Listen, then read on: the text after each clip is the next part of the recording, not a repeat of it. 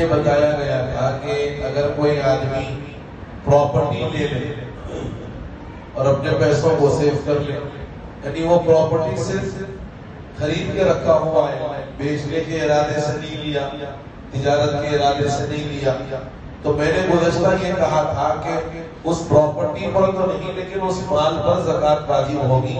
اس کی اصلاح فرما لیں، اس مال پر بھی زکات واجب نہیں ہوگی جو مال آپ نے پراپرٹی پہ لگا کے رکھا ہوا ہوا۔ یہ گزشتہ میں نے تھوڑی سی اس کے اندر جو ہے غلطی ہو گئی، اس کی اصلاح کر رہا ہوں کہ نہ اس مال میں زکات واجب ہوگی نہ اس پراپرٹی میں زکات واجب ہوگی لیکن ایک بات یہ صاف ہے، ذہن میں رکھنے کی انما الاعمال بالنیات اللہ کو نیتوں کا علم ہے۔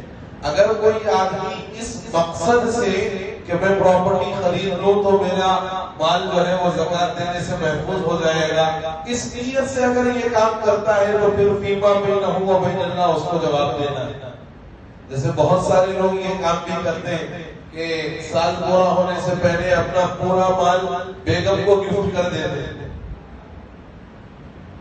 بولتے کہ صاحب سال ہوگا مگر میرے پاس تو کچھ ہے۔ زکات سے بچنے کے ہیلے کرتے ہیں۔ اللہ نے غنی بنایا اور اللہ غنی بنا کر ان کے ذریعے سے کچھ لوگوں کی مدد کروانا چاہتا ہے، مگر یہ اپنے طرز عمل سے اپنے آپ کو فقیر ہے یہ پیش کرنا چاہتا ہے۔ اور یہ بڑی محرومی کی بات ہے۔ اللہ آپ سے فریضے کو ادا کرانا چاہتا ہے اور آپ اس فریضے کو ادا کرنے سے بچنے کی کوشش کرتے ہیں۔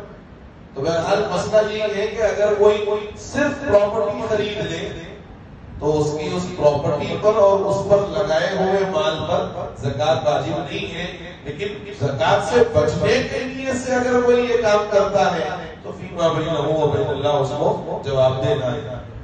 دوسرا جو مسئلہ ہے، صدقۃ الفطر سے متعلق۔ صدقہ فطر میں جیسے عام طور پر لوگوں کا ذہن ہے کہ صاحب نے گیہوں دینا یعنی تو چاول دینا یا پھر فلا دینا۔ علماء فرماتے ہیں کہ یہ دور وہ نہیں ہے کہ آپ چاول دیں گے تو وہ لے جا کر کے پکائے۔ گا گیہوں دیں گے تو وہ لے جا کر کے پسائے گا تو بہتر یہ ہے کہ نقدی رقم دے دی جائے، یہ زیادہ بہتر ہے تاکہ اس کی جو ضرورت ہے، وہ اس ضرورت میں پیسوں کو استعمال کرے۔ صدقۃ الفطر بھی ادا کریں اور اپنے صدقہ فطر سے متعلق یقیناً اس بات کو جو ہے پختہ کرنے کی کوشش کریں کہ نماز عید سے پہلے پہلے آپ کا فطرہ ادا ہو جانا چاہیے۔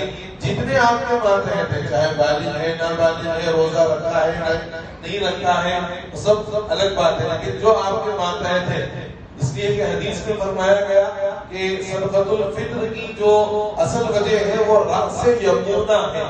رأس یمونہ کا مطلب وہ لوگ جو آپ کے انڈر ٹریننگ یعنی جو آپ کے ماتحتی میں آتے ہیں، ان کے اوپر سے آپ کو صدقہ فطر ادا کرنا ہے۔ ہاں اولاد بالغ ہے تو بالغ پر ضروری نہیں ہے، لیکن بالغ اولاد کماتی نہیں ہے اور والد کے ماتحت ہے، تو والد اس کا بھی ادا کر دے، تو یہ ادا ہو جائے گا۔ اللہ سے دعا ہے کہ اللہ تعالیٰ ہم سبوں کو کہنے اور سننے سے زیادہ توفیق عمل نصیب وہ